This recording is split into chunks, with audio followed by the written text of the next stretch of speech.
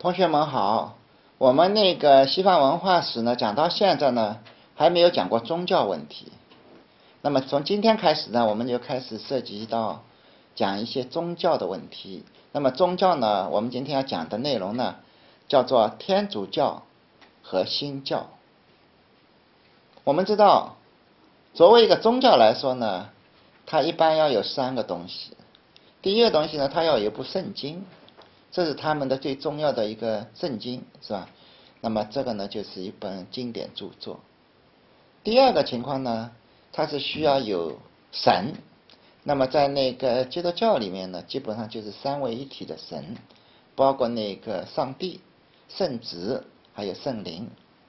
那么第三个重要呢，就是有一个组织。比如说呢，我们说有罗马教会，我们说呢有路德教会，我们说有。加尔文教会。那么在讲到这样一个问题的时候呢，我们就有一个名字就跳了出来，这个名字叫做新教。从宗教来说，无论是什么教会，它都只有一个宗教，这个宗教呢就是叫做基督教。但是从教会来说呢，由于对神和神学的不同的解释和理解，那么就分成很多个教派。在宗教改革以前呢。基本上就是一个罗马的天主教会。那么，罗马的天主教会呢，它呢是非常重要的。它呢，其实那个教会呢有个很古老的起源，在耶稣时代就已经有了教会。但是到了罗马帝国的时候呢，那个时候呢，教会就呃分成了几个大的辖区。嗯，在拜占庭。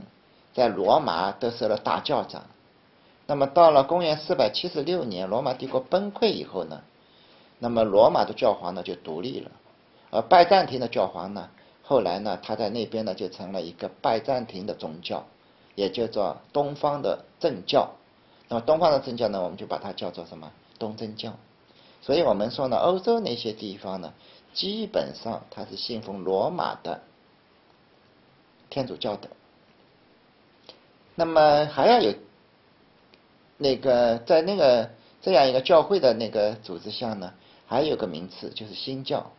新教呢，它主要是指一五一七年马丁路德宗教改革以后所成立的一些教派，比如说有路德教派、路德教会啊，或者有加尔文教派，这些呢都是指的是新教。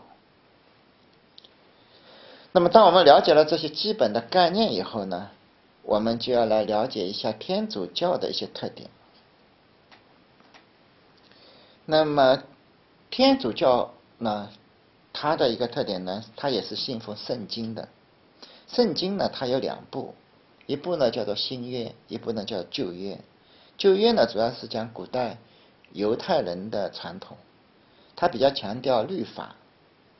律法里面有一个很重要的一个人摩西，啊，摩西和人呢定了一些，上帝和摩西呢那个规定了一些法律。那么圣经这部书呢是很多个篇章联合起来的，所以圣经呢其实就是很多个不同的篇章编撰起来的一部书，叫圣经。那么在圣经里的新约里面呢？他讲到了耶稣的故事。那么，耶稣呢，他呢是一个救世主，他是个弥赛亚。那么是一个犹太人派完的一个弥赛亚。那么通过耶稣的这个这种解释呢，就把新约呢和旧约呢联系起来了。所以那个旧约呢主要讲的就是犹太人的事，而那个新约呢主要讲的是耶稣以后的事。那么我们知道啊。我们知道，从新根据圣那个新约的一些说法啦，那么耶稣呢是那个诞生在一个马厩里面，他的母亲呢就是圣母玛利亚。那么圣母玛利亚呢，呃，做了一个梦啊，梦呢就是上帝告诉他，那么圣灵通过他呢，会有一个小孩，会有一个小孩呢出生在人间。那个小孩呢，就是耶稣。所以呢，等到那个耶稣出生以后呢，就有很多征兆。特别重要的一个征兆呢，就东方有三个博士，他们跟着一颗星，嗯，来看那个出生的婴儿，还带来了很多礼物，一个是带来黄金，一个呢是带来了墨药，那么还带来了一个乳香，黄金呢可以帮助人躲避灾难，乳香呢可以帮助人呢有一个盼望。墨药呢，代表一种爱情，那么这样一种东西带来以后呢，就使得呢，那个有一个图画啊，就是那个三个东方博士呢，那个朝拜出生的耶稣。那么耶稣成长以后呢，就开始传教啊，开始传教。那么后来呢，耶稣呢就领导了很多个信奉上帝的人。那么这里面呢有很多故事，这些故事呢都写在新约的福音书里面。那么后来呢，那个耶稣呢被判有罪，被钉死在十字架上。那么这样一个一一个故事呢，就是发生在那个十三号星期五。所以我们说十三号星期五呢，在西方来说呢是一个不吉利的这样一个日子。但是后来呢，耶稣被处死以后呢，过了没几天，人们再到那个墓穴里面去看呢，耶稣不见了，耶稣复活了，所以后来呢，就出现了一个节日，叫做复活节。那么耶稣诞生的那一天呢，就是十二月二十五号，那一天呢，就是我们所说的圣诞节，而复活节呢，应该是那个，呃，十，嗯，应该是那个。每年的十一月的第一个礼拜四，那么这个就是耶稣的故事。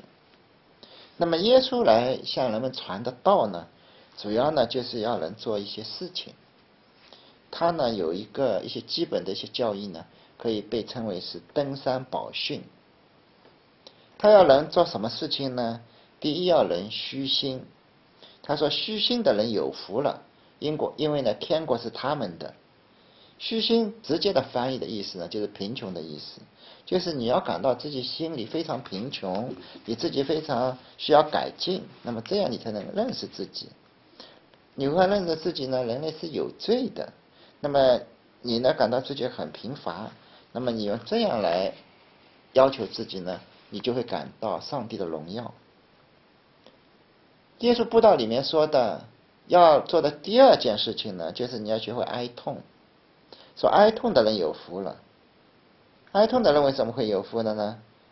因为他们觉得自己有罪，每个人觉得自己有罪而感到哀痛啊。那么这样呢，实际上是有福了。第三件事要做的呢，就是做人要温柔，叫做温柔的人有福了，因为呢，他们必将承受地土，土地就是啊。因为温柔的人呢，温柔的人呢，才能够接受那个上帝给赐予他们的那个土地。那么这个思想呢，也是很了不起的。第四个话呢，也很重要，就是要人呢饥渴慕义。饥的就是饥渴，就是渴望啊。慕义，跟着道义去行事。饥渴慕义呢的人呢，有福了。饥就是饥饿的饥，渴就是渴望的渴。那么慕呢，就追慕的慕，慕什么呢？慕那个道，基督教的道，因为呢，他们必得到满足。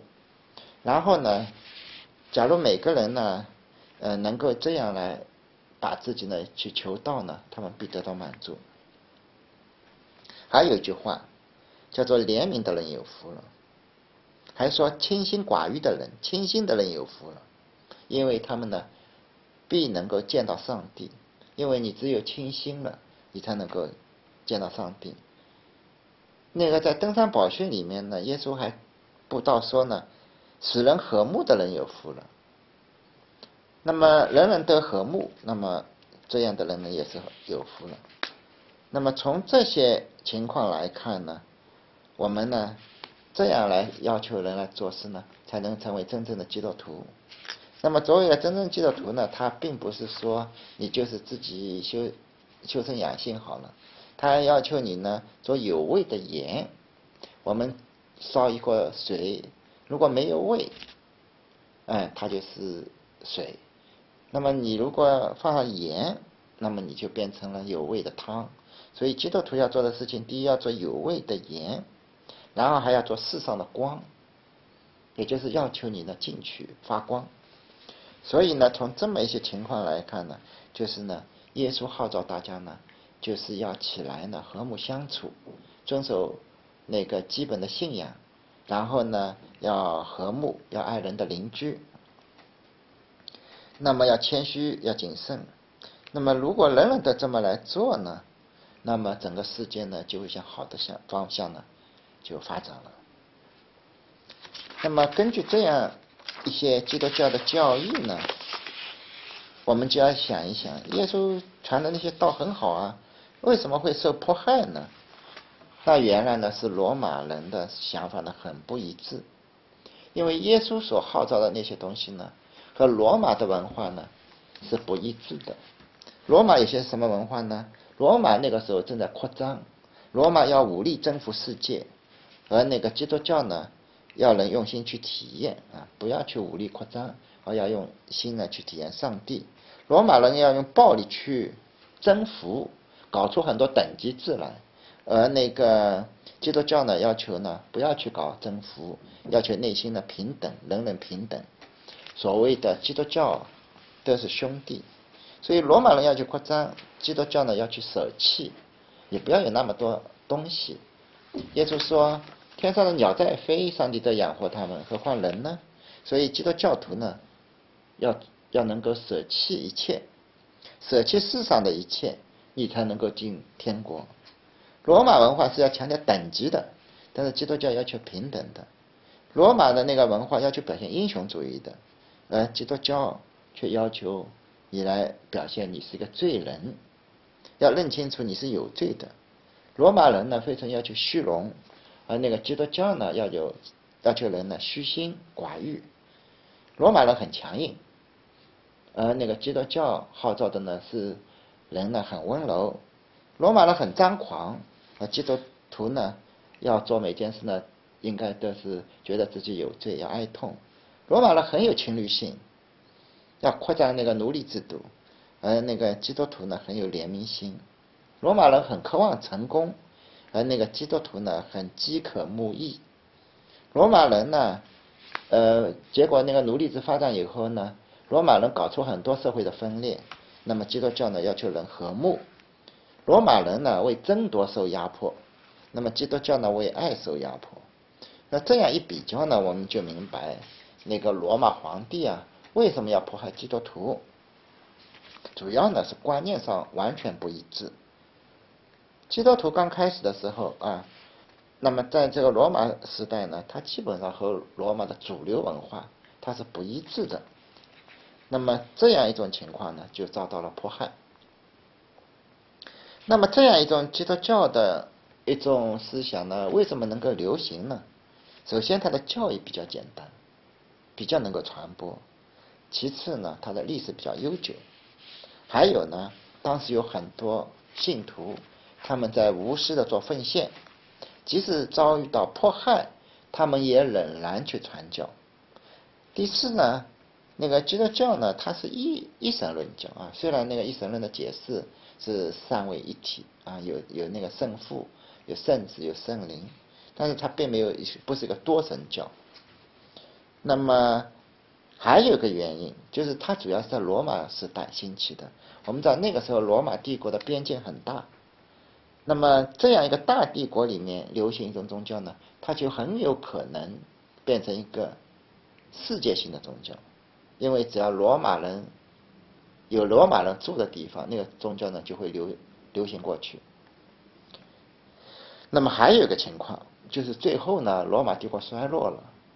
那么罗马的有几个著名的皇帝，他们自己也皈依了那个基督教。比如有个皇帝就是君士坦丁皇帝，他自己呢也皈依了那个基督教。那么这样一来呢？基督教成了后期罗马帝国的国教，在那个大的省份呢设了大主教，在中等的省份呢设了主教，然后在地区呢设了教区。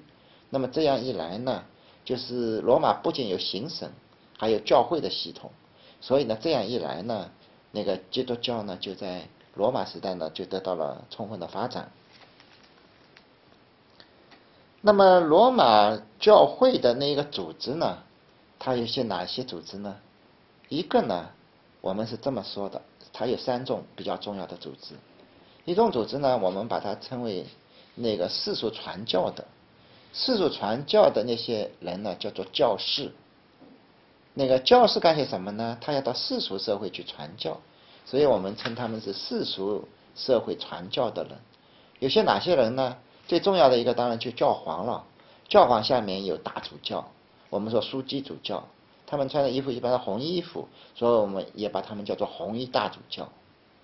在下面呢有主教，在下面呢有那个神父，神父呢是管理一个教区的，叫神父。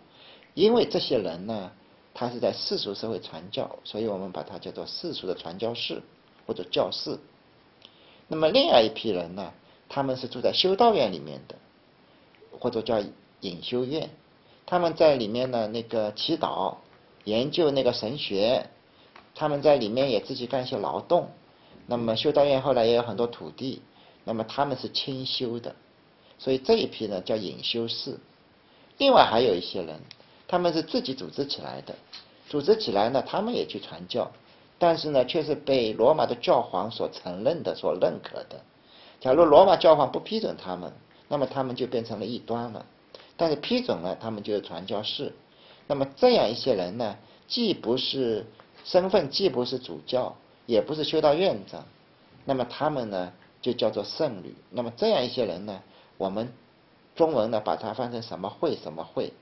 譬如有很多到中国来传教的人士呢，他是属于一个传教的组织，叫做耶稣会的。我们中国有那个利玛窦，那么他们呢，利玛窦就是耶稣会的。那么耶稣会派他到中国了来进行传教，传什么教呢？传的是天主教。那么这样一来呢，我们又就弄清楚了，在那个天主教会里面呢，它主要有三种人。一种呢就是主教、大主教，啊，大主教、主教、牧师啊，那个神父、教皇。那么还有一些呢，就是修道院长、修道修道士。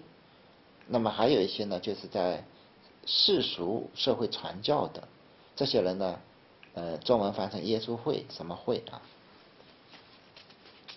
那么我们经过这样的介绍以后呢，我们就明白了。那个罗马教会呢，是一个很有组织化的这样一个教会。那么在中世纪的岁月里呢，欧洲呢是普遍的贫穷落后，而且战争连绵不断，人民呢生活很贫困。那么在中世纪的时候呢，主要是政治秩序比较涣散，那么教会组织反而就发展起来了。那么罗马帝国灭亡以后呢，就出现了一些人。他们呢就帮助教会成长起来，这些人呢也可以把他称之为什么？称之为天主教会之父。里面有一个人很重要，那个人叫奥古斯丁。奥古斯丁写过一本忏悔录，还写过一本书叫《上帝之城》。奥古斯丁是个著名的神学家，那么他呢解读了很多，解答了很多神学上的问题。然后呢，他根据自己的亲身的经历啊，和他对圣经的理解，他讲解了讲解了原罪是什么问题，人们应该怎么赎罪。那么这个一个上上帝城呢，也就是那个奥古斯丁这样有文化的那个人呢，对神学做的一个解释。还有一个人，他是米兰的大主教，那个米兰的大主教那个人呢，叫阿布罗斯。那个布罗斯呢？呃，他主要的功劳呢是反对异端。那个时候呢，基督教会呢有很多人呢不相信神是三位一体，总觉得那个天赋地位要高于圣子。那么这样一些人呢，被认为是一个异端。所以呢，那个米兰大主教阿布洛斯呢，他就是反对异端方面呢取得了很大成绩。那么他也具有很大的政治势力，因为他本来就是一个总督，后来他皈依了天主教，他就当大主教了，所以呢，他也影响了政治。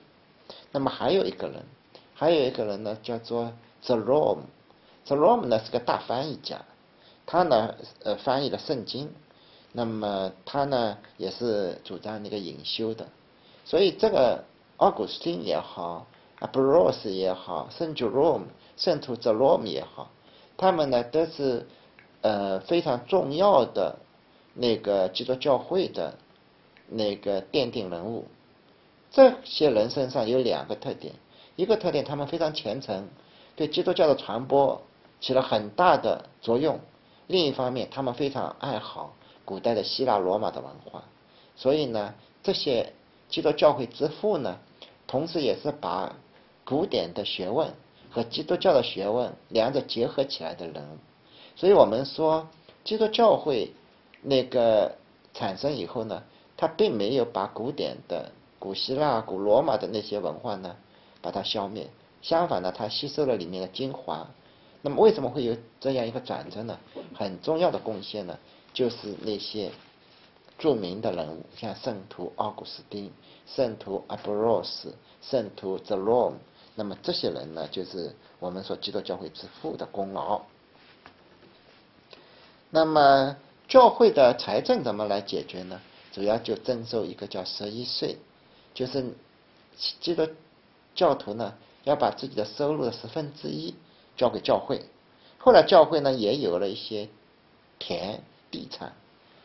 那么教会呢，神职人员呢，他当然就是免税的。那么教会呢也管一些人。那么教会管一些人呢，当然他要有一定的财政收入。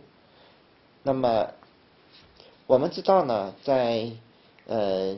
教会的神职人员呢，经常要做一些事情，做什么事情呢？就是在人那个死亡的时候呢，他要去到人家家里呢进行徒有礼，也就是帮人家做那个祈祷。那么有很多基督徒死的时候呢，就说呀，我我一生呢很高兴你来，那么我就把我的土地呀送给教会了。所以教会有很多土地呢，是那个基督徒赠送给教会的。那么我们从这么一些情况来看呢，我们就知道什么？我们就知道教会呢，在当时呢，势力就渐渐的强大起来了。